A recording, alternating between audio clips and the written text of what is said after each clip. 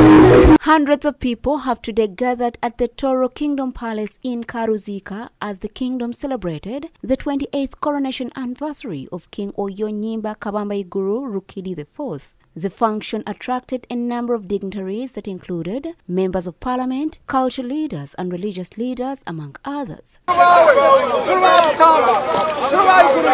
In his message, the king re emphasized the importance of sticking to the kingdom's pillars, which are in line with the 2025 development plan, which include skilling the youth, tourism, modern farming, among others.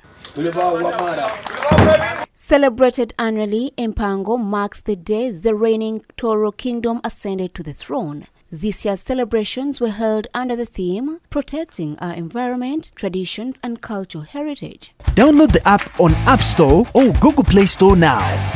Vision Digital Experience, the future of media.